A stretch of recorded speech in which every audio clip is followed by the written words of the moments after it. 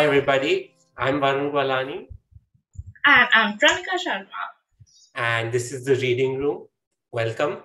Today, we will be discussing the first episode of the novel year, which is Welcome to 2020. So, on that spirit, welcome to the Reading Room and to 2022. stuck in a time loop, aren't we? We are stuck in a time loop and we hate it. we do. Um, so yes, it's the start of a new year and start of something different that we're doing. but it's but the new year is not different. So so, so we are discussing. Uh, we're doing a throwback post on a throwback year. right. So our first story, as Varun said, is called "Welcome to 2020." Varun, why don't you tell uh, our readers a short summary of um, what the story is all about? All right. So, "Welcome to 2020" follows an artist who has been living up in the mountains for four months mm-hmm. at the beginning of 2020. Mm-hmm. And then she decides to go into this small town near her for a gallery opening. So, in case the implications aren't clear to you yet, she has been staying away from civilizations during the months during which the pandemic has begun. So she goes into the into this town, not realizing that the entire world has changed around her in those four months that she was in there.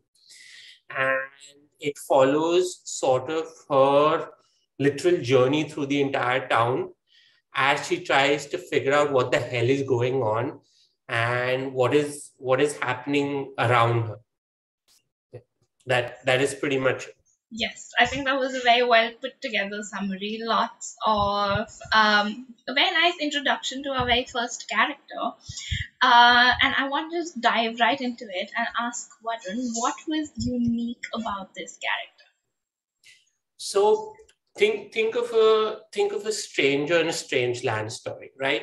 You uh, think of like say, say a human being who's going to an alien planet right you identify with the human being because you are sort of going to a different culture a different place and they are then and then you're sort of examining your own culture through the lens of theirs right?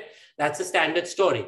The the thing is this time it is it is a human uh, it is someone uh, the protagonist is going to a society that that is different and you identify with the society because because you now know what that society is like not only that you identify with the protagonist a past version of you identifies with the protagonist so it's essentially the story is taking you in sort of a time loop yourself uh, taking you taking a blast from the past of, of four months, of four months in which the whole world changed, right? You get to experience firsthand all the weird, wacky, crazy changes that have been happening during the start of the pandemic, and you've not even realized the significance of them. And that sort of show that sort of brings into stark relief through that character how the world has changed all around us without us even realizing it and helps to sort of bring that to you to light in your own mind that's right i think uh, it essentially puts the new normal into uh, what we've adopted yeah like uh, what was a normal and how we've sort of changed into that and transitioned so easily that i, I mean it was um, it it happened quickly so that sort it, of it happened quickly but uh, if if you'll see the rest of the series, it's not easy. there is not. There's not a lot of easy in it. Yeah, not at all. Uh, not not at all.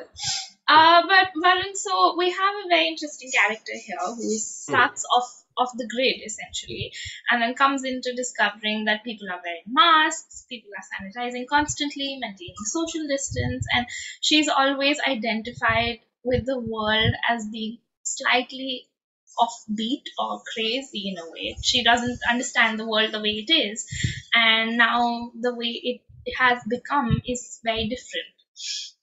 So, what were what were your challenges? What was what were the challenges you faced while writing such a character and sort of having her in this scenario? So the challenge so much. So uh, it's not that she.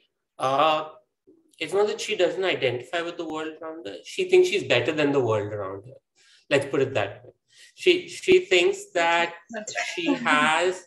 Uh, she thinks she has a, a line on the world that nobody else has, so to speak.